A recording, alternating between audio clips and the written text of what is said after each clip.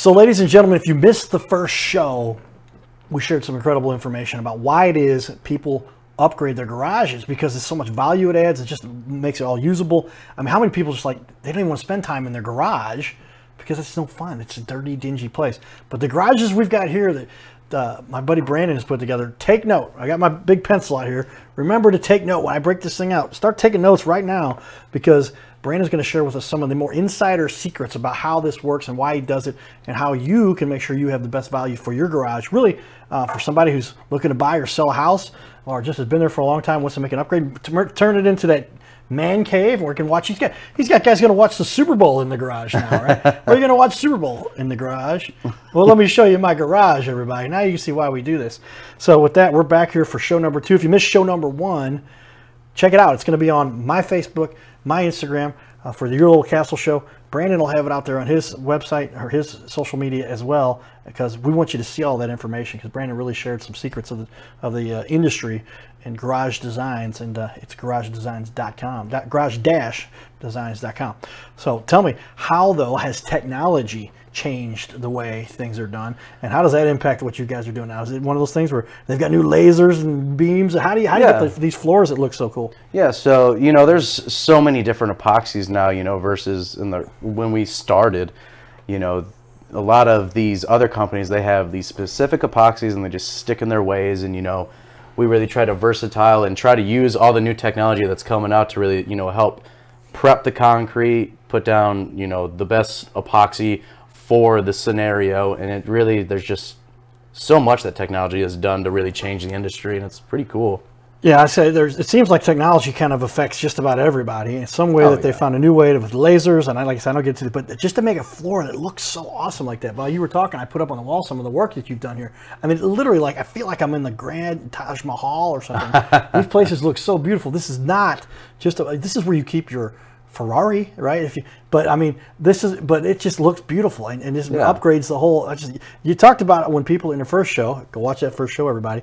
And it was a matter of like, you really get that first impression. If you're selling a house and you've got one of these garages set up, boy, you really stand apart right there too. Oh, and these yeah. aren't like fifty, sixty thousand dollar upgrades. Oh, people no, are doing these for what's the, the, minimum it takes to get a floor put in? Uh, twenty five hundred bucks. Can't. Yeah. I almost can't get my own carpet or wood laid down mm-hmm. for that, you know, oh, anywhere no. in my house.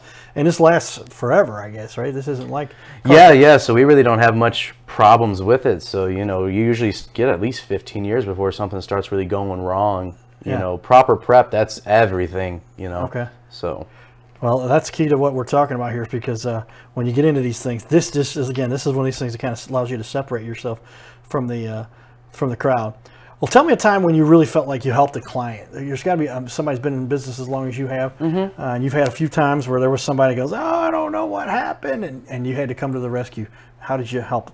Uh, so that kind of comes across pretty often. So we actually had a guy about a month ago was supposed to get his epoxy floor done that week, and the contractor just went MIA so we're mm-hmm. like, you know, we're swamped, but we'll, we'll squeeze you in, get it done because he had like a bunch of construction equipment and workout gear coming in the garage.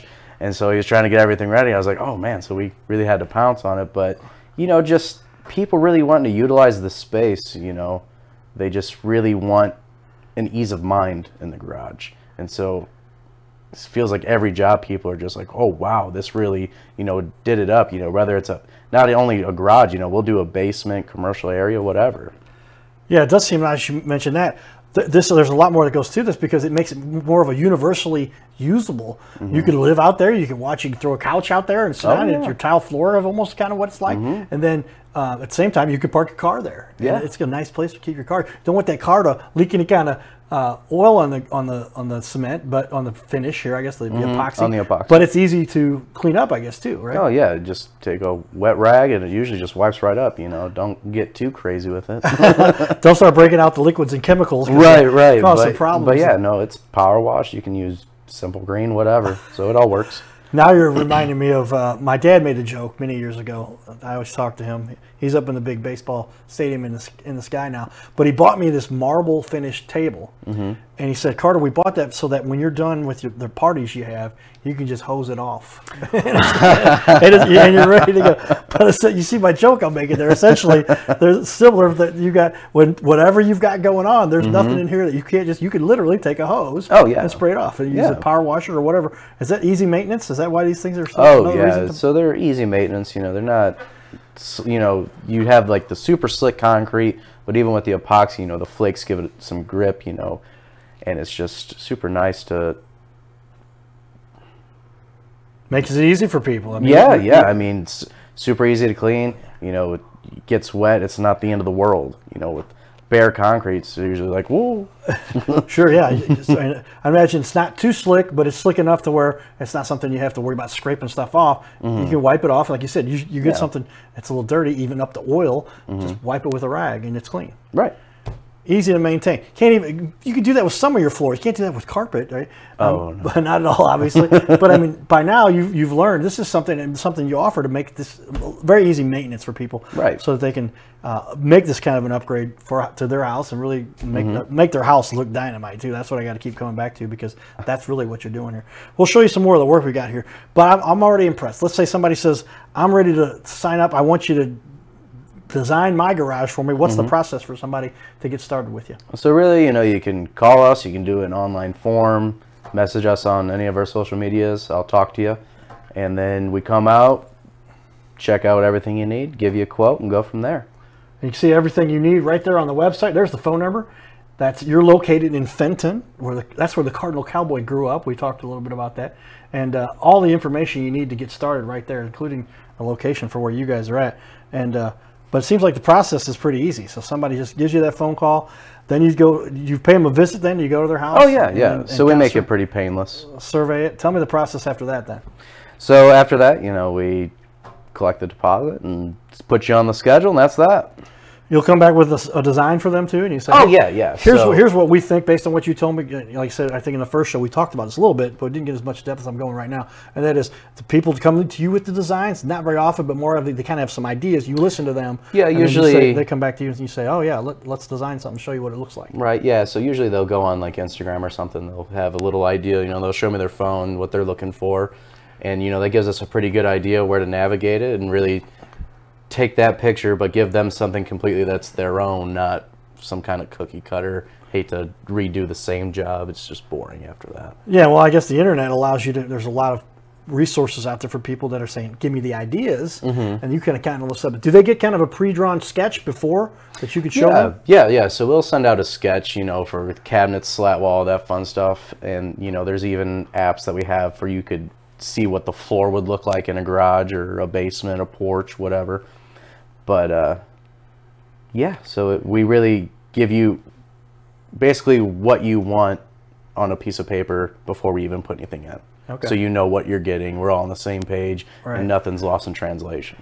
There you go. Yeah, you want to make it easy for people to kind of preview this, and, and they're going to spend some money. Oh. and give them a little bit idea what they're doing, and then they say, "That's what I want. Go get it." Right. And then, of course, I would imagine along the way, there's very often something they go, "Well, can you change this? Can you modify that? Is something is that something that's easy for them to, to make adaptations? Oh yeah, yeah. So I mean, we get every dimension of the garage. You know, you want to make a cabinet a little bigger. We know how much room you have on the whole wall to. If it works, then we'll adjust it. If it doesn't, then we'll just go from there. Yeah, So it's one of those similar situation, You say. The show must go on. We will figure out a way to Right. get this done. Nobody says, "Oh no, take it all out." I don't. want to-" That's. I mean, nobody does that because they are so excited about what they've got, and you can fix whatever hurdle they might have run into. Oh yeah, yeah. It's nothing, plumbing nothing that popped impossible. up they didn't realize was there. Right. Rebar that got left somewhere. Or, or how's it? What are the things you have to deal with? So you know, usually you know, bust up concrete. If you know, it, there's really no obstacle that we can't really overcome. Busted up concrete. That doesn't sound. Well, you know, some people they have like massive chunks missing in their concrete. So, Oh, but we have epoxy patches that you know are built to like withstand the flex and everything of concrete. So Okay. there's so many things that we can do. We've never had a job that we had to completely walk away from because it was just oh a nightmare, you know. Right. But no, it was. I don't think we've had anything too bad. Well, as a matter of when you're really dealing with something like this, if you can lay cement, cement and concrete, Mm-hmm. you can do just about anything, right? There's not much more to the fundamental heavy lifting side of the world than there is concrete, and you Right. can make that happen anywhere, Right. commercial or residential, and porches. And you say also, do people do their outside patios like this sometimes? Yeah, too? yeah. So the epoxy, like I said, there's so many different types of epoxy. There's ones that are specifically made for the outside, and there's ones that are meant to, you know, if you do a basement, you have an old city home or something, it has a moisture barrier in it, so nothing's gonna push up your floor. So there's just so many different things that you can do for any space, really. Wow. Okay. So yeah, I didn't know there was. Uh, what'd you call it? A moisture barrier. Yeah, That's yeah. What. And it's because there's they're not they're dug into where the, the foundation has got their air, moisture does come through the ground. Right, right. So, you know, you have hydrostatic pressure, you know, when water's pushing up through the concrete. So we put down a moisture barrier and then the epoxy itself, and then you have 30 pounds of resistance to uh, hydrostatic pressure. So, There, ladies and gentlemen, he said hydrostatic barrier. Big words for, for these guys. They know what they're talking about. You can tell uh, they're, breaking out some of those for us. But that's that's where you've got to get into because you don't want somebody to have one of these built and in place, and all of a sudden it starts to crumble because Oh, yeah. it's cement. And if there's too high a level of water mixture or uh, condensation or whatever, I guess you tell Mm-hmm. Me that can really disrupt it and cause it to crack, and, and you you seal it off and make sure that doesn't happen. yeah, yeah. So, you know, you'd hate to be so excited for the space and then six months later, it's just going to crap. You know, you really got to get everything together, keep it nice. You really got to know your stuff, you know, make sure you're talking to a reliable person and then just go from there. You know, there's so many epoxies for every space, so we can make anything work really. And is it an epoxy from the sense that it is a, a mixture of two chemicals that come together and then make a hardened Yes. surface? Explain to me the, the epoxy process and how that gets that cool finish that you've got there. So there's a bunch of different ones. So with the flakes, really what it is, you know, we grind the floor to the crack apparel, all that fun stuff, and then we'll paint the uh, floor with the base coat, which is usually the gray or tan, and then we'll throw the flakes into it. The flakes take, and then we'll put a coat of clear on top. But with the marbled epoxy, where it looks like you know stone and all that fun stuff, we really just mix whatever pigments you like or whatever you're trying to mimic and it just makes it you know we blend it all together and you dump it out and just put your little designs in with brushes whatever even a leaf blower there's so many different applications yeah So, ladies and gentlemen, he breaks out the leaf blower to spread this out to make, make the pattern and get the design that they want. yeah yes Trade secret there, everybody. Yeah, there That's you pretty cool. Now we're talking about, all right, now you're doing some stuff. Breaking out the cowboy hat again. Hold on. Because. I'm a cowboy on the steel. Well, so you're making it happen. There's, you got to be resourceful. I didn't realize it's a matter of developing that pattern and getting the, the look that you want. you got to be on your toes You got to be. You got to have something that can blow the air to, to finish it the way you want. And Yeah. It, it actually moves the Yeah, the flakes. yeah. You keep calling them flakes, the pieces, the particles. That are, so that's with uh, the flakes with the metallic floor that's when you well you use the leaf blower on both but to get a design in it with the metallics yeah you can use a leaf blower and just like blowing a puddle you know you see the water move you can see all the ripples and all the different colors move and blend together and it's it's really neat So there's where you get to do some more of your artistic side of the Oh, world yeah. too. Because Brandon here is also a heck of a musician. We talked about that a little bit in the first show. Piano, guitar, and drums. You've Yes, played sir. all of them. About the flute, saxophone. no the saxophone's next i love a saxophone There's something about it all right. So very artistic, very creative, and gets to put all this stuff together for everybody because this is how you make stuff happen. If you're going to have a business that is that allows for such creativity, you need to have that kind of a mind. If you're just systematic, mechanical, a bunch of bars, a bunch of uh, posts, and, and then that doesn't look so pretty, right? You've got to make these things look fantabulous. And again, I'm going to put up. I'm going to click on some of the examples you've got here on your uh, on your website. If I go, I'm sorry, I go back over here to the gallery. But I mean, wow, these epoxy floors. Yeah, take a look here on the wall. We've got some of these secret pictures that we're going to put up for everybody. Um, there we go. Sorry, everybody. Take a look there. And this is some of the work you can get that looks dynamite. We've got a higher res one over here that you brought with us. And uh, boy, you've got just about everything that makes this look awesome and uh, allows for some of that creative design to make these things look just showroom quality. And uh, that's what you bring to the table here for everybody. yeah we try to make everyone you know as happy as possible everyone's got different needs different wants different color schemes they have in their head and we just roll with it Well, very cool. I'm going to jump back over. I do want to show some more of the pictures that we've got. I'm going to put these back up. On, they're on our right wall. I call it the right wall. That's the south wall, technically, if you're uh, keep- keeping directions as to what part of the studio we're in here. but um, put up there. There's that back wall again, but here's that's that's the west wall, right? And uh, but yeah, similar. Something we showed that picture in show number one, but I want to get into some more of this. Again, looking great. Got the great grids, cabinets. Looking, man, you just that looks like it could be somebody's office. I mean, that's a Oh, absolutely. that's a beautiful finish you've got there. Another where uh, cabinet space here, some uh, closet doors there, and then again everything hung up nicely. What was that stuff you used to hang stuff again? Slat wall. Side wall. Slat wall. Slat wall. Yes. Slat wall. Okay. Now you're looking here. Here's somebody's race car room. You've got the Indy 500 going on here. Keep it crispy. Keep it. Tell me, I, I put up the the design there, but I want everybody to see that floor. Whose house is this? They've got the fridge, they've got the bikes, and look at that floor. Who, who, who wants a house like this? Somebody's big into IndyCar, or is this like this, they going back to the 50s? What's going on here? So funny enough, they did have uh, an old Mustang that they kept in there. It was red, Okay. and then yeah, but that that's not epoxy floor. That's a, a race deck floor. So that's just snap lock tile. Okay. Yeah, yeah, But did you put that in for them? yeah, yeah, yeah. So we did everything that you see in there. Yeah, it looks just dynamite. So take another look at that, everybody, because there's some cool looking stuff there. Again, got a window. How many people have a window in their garage? Well, now you might want a window because it looks like a part of the house and some of the cabinets you've got on there. And uh, that wraps up the pictures that we've got there. But there are so many other pictures you can take a look at. I'm going to put up on the wall for everybody to take a look. Here is Garage Designs of St. Garage Designs of St. Louis since 2002. This is their Facebook page, and all the information you need to get a hold of them. A lot of awesome posts. You can see some of those pictures we put up here and some more stuff. A lot more information you can gain here. An easy way to contact them. But uh, I always like to take a look at and show everybody a little bit of the photos that they've got there. So take a look here. We've just shown you some exclusive stuff that you won't see out here. They will be out here shortly, but uh, a little bit more of what you got there. Now, there's an example. That's that one of those lifts. That's a four-post lift, obviously. I can count one, two, three, four.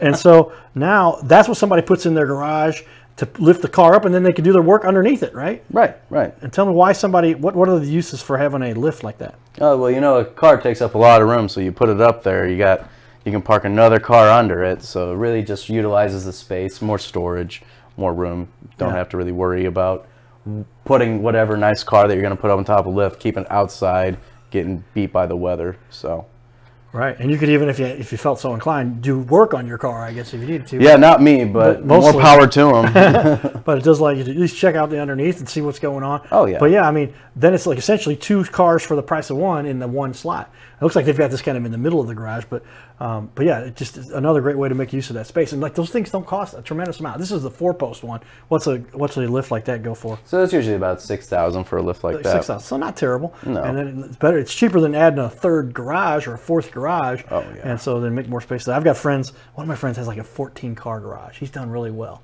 And so maybe he, he could have saved some garage space if he had a couple of these. I was about to say, is your friend Jay Leno? he is not. Uh, he is a. I'll say this much. He's a former pro baseball player. oh, well, that makes and, sense. Uh, and that was a house a while, while back. I, I don't know if he still has that house or not, but I remember looking at the garage. I'm like, the garage, yeah, the house was pretty big too, but I was like, the garage is almost as big. House looked bigger than the garage, but it's a 14 car garage. But if you can imagine, so he could, you could really do some work in there. Oh, Make yeah. a basketball court. If you put a basketball court, anybody? anybody Not yet, but garage I'm up for a challenge. Okay, something you might be willing to take on. All right, uh, but yeah, take a look here at, at the at, at the Facebook page, uh, Garage Designs.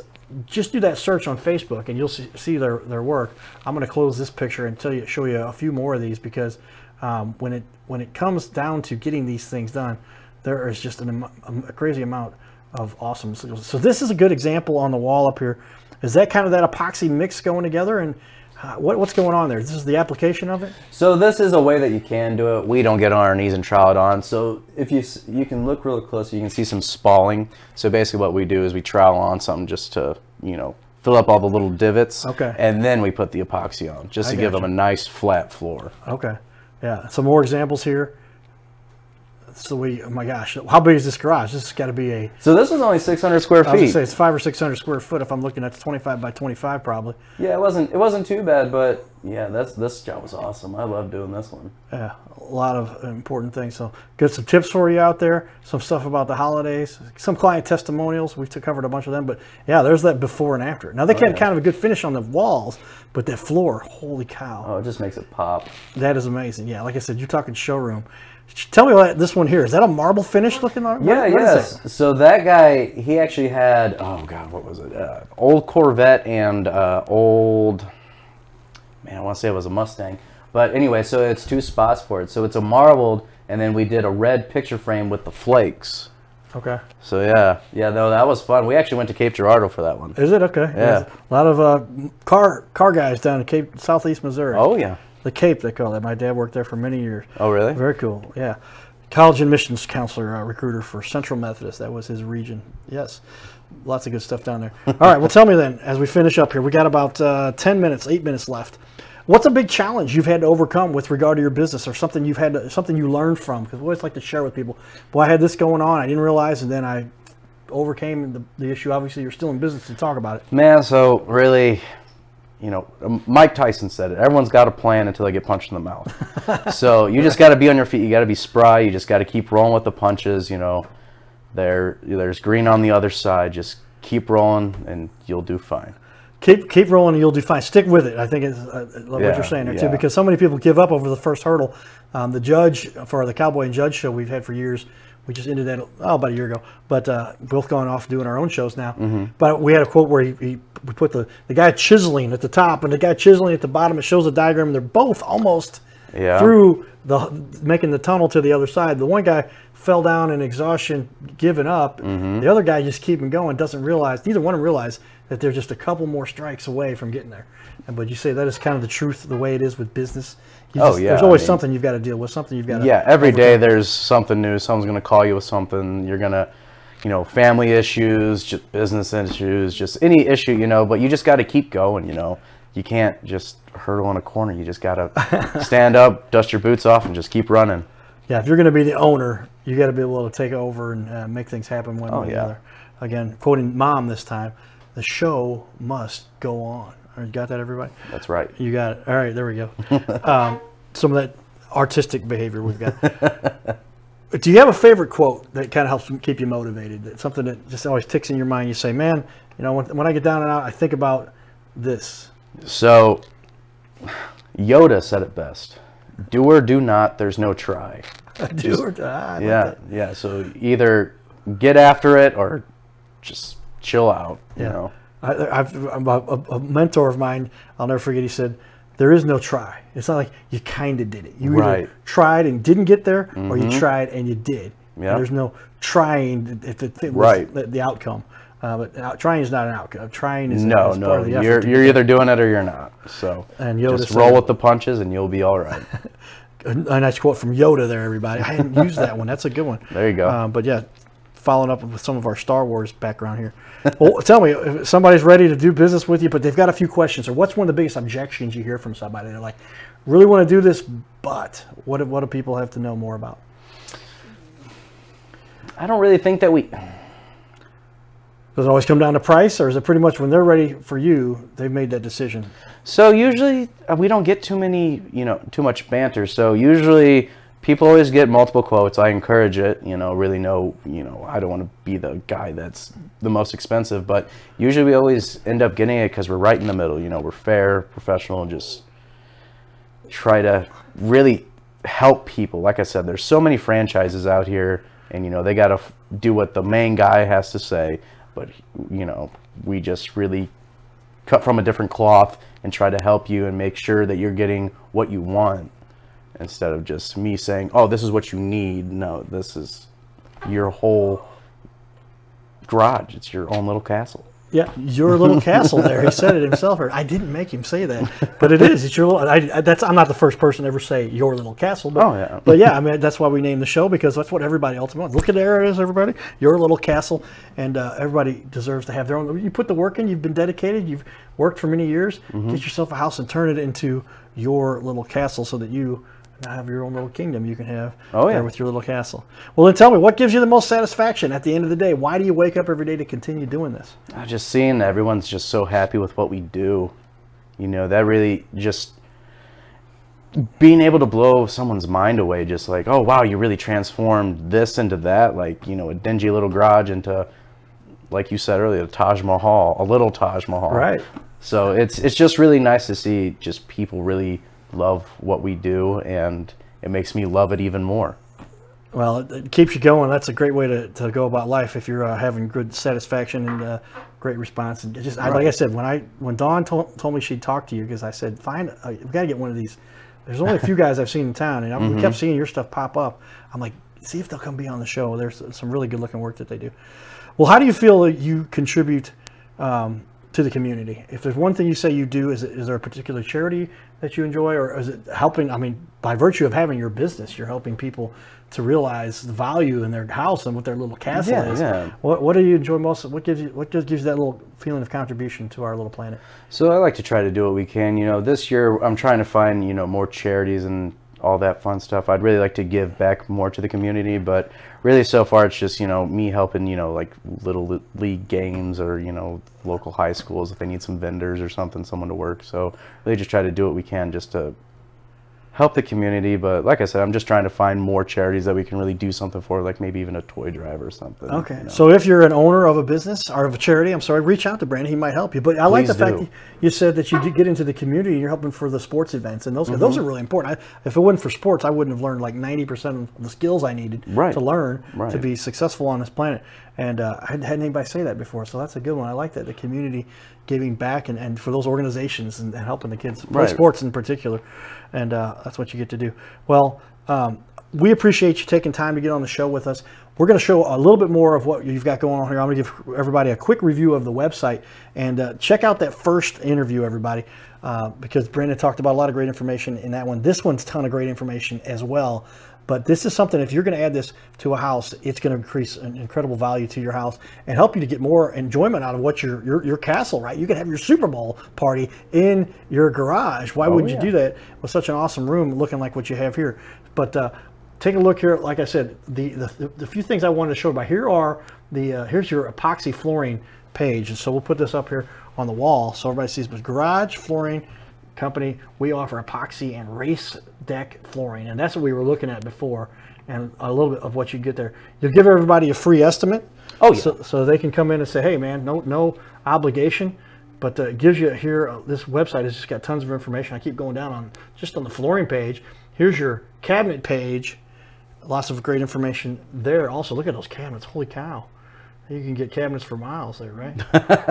and then storage, because kind of what cabinets are, but to make that all look good and be, and so you're storing stuff, not in cabinets, but hanging on that strip Slat wall. Slat wall. Okay, slat wall. Is that what it is?